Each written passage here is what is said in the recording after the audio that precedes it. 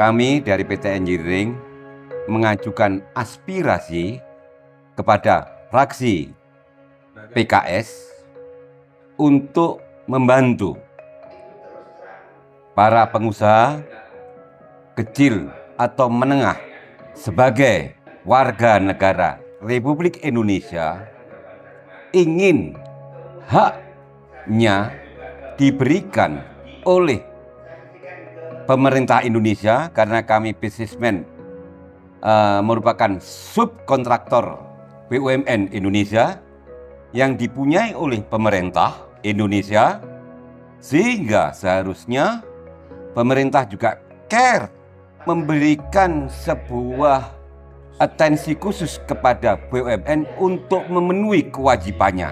Karena seperti yang dikatakan banyak dari pemerintah, pejabat-pejabat eksekutif kita untuk Indonesia Emas 2045, kemudian untuk perputaran daripada perekonomian yang cepat akan tetapi dengan seperti ini sebenarnya penghambat sesungguhnya adalah pemerintah kita sendiri.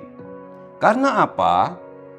Rakyat sudah mengeluarkan uang untuk mendukung ya pembangunan uh, Republik Indonesia ini akan tetapi dengan pembayaran yang tidak dipenuhi oleh mereka. Sebagai rakyat kami tidak bisa menerima sebuah reason apa pun karena pemerintah kita dengan APBN kita itu sudah fake yang dikeluarkan untuk mengerjakan proyek-proyek yang ada di Indonesia ini. Oleh karena itu kami minta atensi daripada khususnya Kementerian BUMN ya mereka harus care kalau menginginkan sebuah continuity dan memberikan growth seperti yang dikatakan oleh Bapak Erick Thohir akhlak. Kalau memang konsepnya akhlak itu maka pembayaran akan menjadi on time in due tapi kenyataannya tidak seperti itu yang saya alami.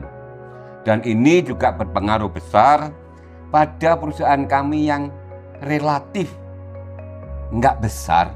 Kalau tidak terbayar ini maka akan ada stagnasi sehingga perekonomian daripada kita juga tidak ada kemajuan apa pun tersendat. Pemerintah juga harus bertanggung jawab seperti ini karena kami sudah mengirim surat ke semua lini pemerintah juga kepada Bapak Erick Thohir dan Pak Basuki. Basuki. Dan kami sangat berterima kasih, bersyukur sekali. Alhamdulillah ada care daripada fraksi PKS yang membantu kami untuk memberikan solusi terhadap masalah ini. Terima kasih Pak Haji. Amin. Ya, Mas. Ini, ini. Saya Satrawi Mana, saya selaku Deputi Director dari PT Med Engineering dan saya selaku generasi muda Indonesia dengan dengan mimpi Indonesia 2045 menjadi Indonesia Indonesia emas, namun dengan catatan ataupun uh, perilaku BUMN kita yang mana BUMN adalah penopang salah satu penopang ekonomi negara Republik Indonesia, saya saya sedikit ragu dengan hal itu. Karena betul apa yang dikatakan dengan Pak Haji Amin bahwa amanah dan kompeten itu tidak terjadi untuk di saat ini dan saya sebagai generasi Indonesia saya ingin membangun negara ini tapi bagaimana kalau misalnya salah satu penopang ekonomi negara kita yaitu BUMN tidak bisa tidak bisa melaksanakan kewajibannya dengan baik. Terima kasih kepada Pak Hari, Pak Tana dan kawan-kawan dari PT Mer Engineering yang uh, sudi menyampaikan aspirasi kepada fraksi PKS dan kebetulan saya juga dalam hal ini eh, anggota Komisi 6 yang juga terkait langsung dengan permasalahan yang dihadapi oleh PT Mer Engineering.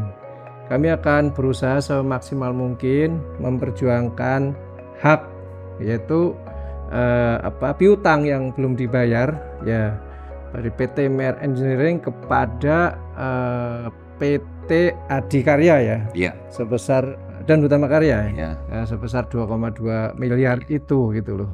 Memang ini kan seharusnya eh, seandainya jargon akhlak yang dikampanyekan oleh Menteri BUMN Yang pertama adalah amanah, ya A-nya kemudian K-nya adalah kompeten gitu kan. Ya, udah amanah dan kompeten itu saja, nggak usah ke belakang. Seandainya itu benar-benar dilaksanakan, hal-hal yang seperti ini nggak layak untuk terjadi.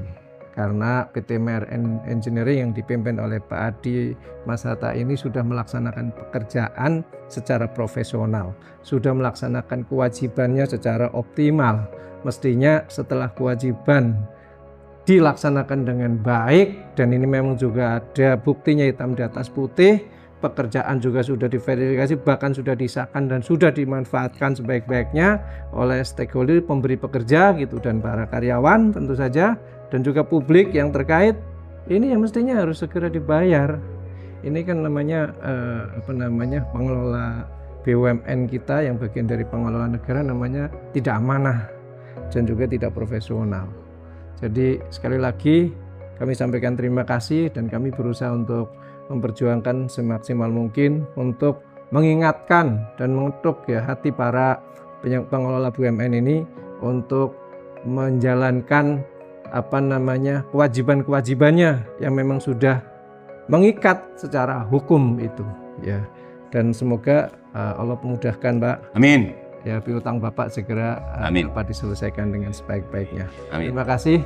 Assalamualaikum warahmatullahi wabarakatuh.